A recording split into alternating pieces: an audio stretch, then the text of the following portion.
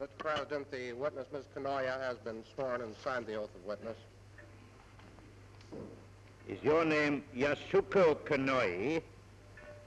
Are you the wife of Hidemaro Kanoi, the younger brother of the late Prince Kanoi? とこの絵で、この絵安子でありますか。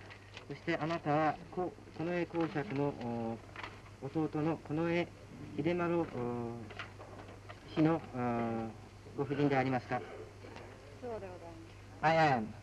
And are you a teacher of shorthand?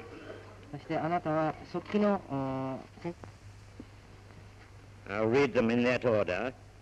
I, Yasuko Konoye, wife of Hidemaro Konoye, am a teacher of shorthand, and during the period of 1930 to 1940, I, as his stenographer, took in shorthand the notes of the late Baron Kumao Harada, I have been shown by Mr. J.G. Lambert, IPS investigator, a photostatic copy of this finished transcription which I recognize as the memoirs of Baron Harada, written by me in my own handwriting.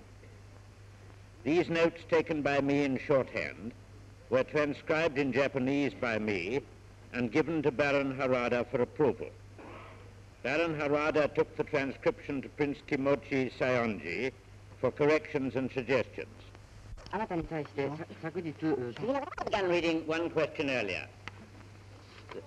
Bottom of uh, 488 you just said Mrs. Konoye that Satomi's corrections do not appear on that document.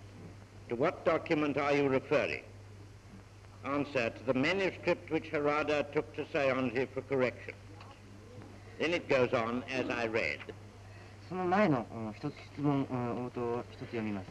えーその前にはこういう質問がありました。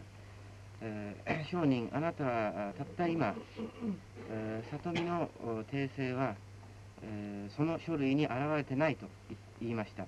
その書類とはあどの書類を指しているのですか？それに対する答え。えーそれはあ原田が西園寺のところへ訂正のために持ってった原稿であります。それ次に私が先ほど読み上げた質疑応答があったのです。Then the last question is at the top of page 37490. You state in your affidavit as follows. I have been shown by Mr. J.G. Lambert, IPS investigator, a photostatic copy of this finished transcription, which I recognize as the memoirs of Baron Harada written by me in my own handwriting. Is that photostatic copy that you saw a copy of the document you just spoke about? Answer yes. Answer yes.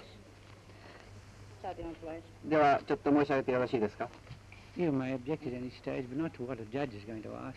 えーあなたは異議を申してもよろしいけれども、裁判官が尋ねようとすることについて言ってはいけません。ついて異議、ついての異議は許しません。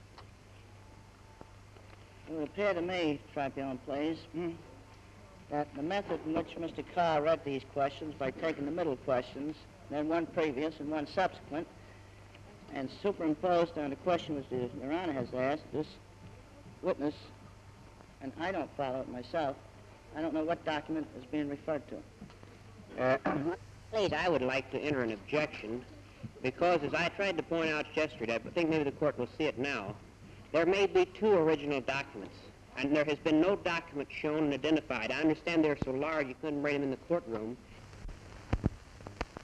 that we have just been considering.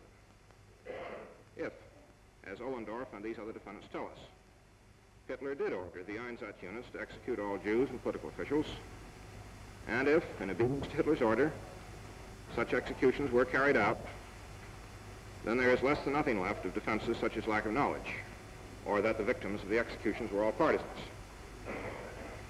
And in fact, the documents make it clear beyond the slightest doubt, doubt where the truth lies. The order for the mass executions of Jews and political officials was given, and it was carried out.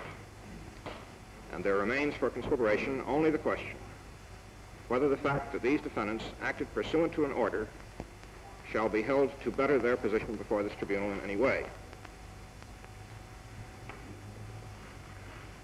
Now, the general principles of international law, international penal law, with respect to effective superior orders on responsibility are by no established.